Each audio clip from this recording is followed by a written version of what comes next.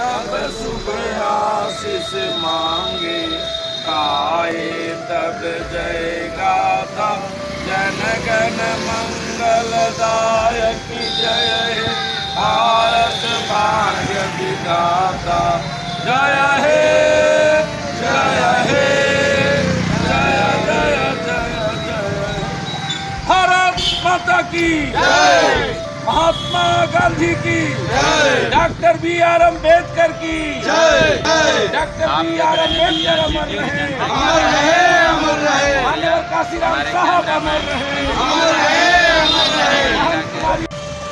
बाबा साहब अंबेडकर के द्वारा संविधान दिया गया। आज जो आज़ादी के दीवाने थे जो आज़ादी के लिए अपना सब कुछ न्यौछावर कर दिया उनको नमन है। जो लोग आज़ादी में सभी लोगों ने अपना भूमिका निभाया और स्वतंत्र भारत कराया। उनके परिवार के प्रति गहरी संवेदना करते हुए भारत को अक्षुण्ण रखने के लिए, सम्राट अशोक की तरह भारत के राज्य को फैलाने के लिए, मान्यवर काशीराम साहब का सपना का भारत बनाने के लिए, आज की भारत में रहे सभी लोगों को एक अरब बाईस करोड़ जनता को खुशी का दिन है। कि 15 अगस्त उन्नीस सौ सैंतालीस को देश आज़ाद हुआ था और आज हम लोग अरवल में बहुजन समाज पार्टी कार्यालय में सभी अपने साथियों के साथ राष्ट्रीय ध्वज फहराया और बहन कुमारी मायावती जी जो पूरे पूरे देश में हम लोग संकल्प है संविधान को मानते हैं और भारत चाहते हैं और इसी के साथ आज हम लोग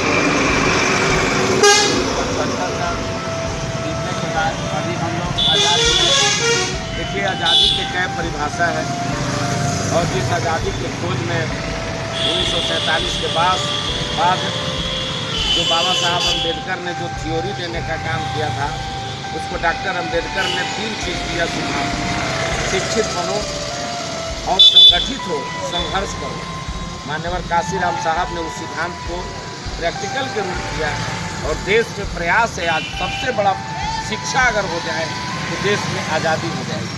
घर घर में शिक्षा की ज़रूरत है। अभी भी हम लोग उस रूप में हैं लेकिन धीरे धीरे करके भारत अपने पैमाना पर पहुँच रहा है और आने वाला दिन भी पहुंचेगा ऐसा ये दो साल से स्कूल बंद है तो क्या शिक्षा गरीब को मिल सकता है?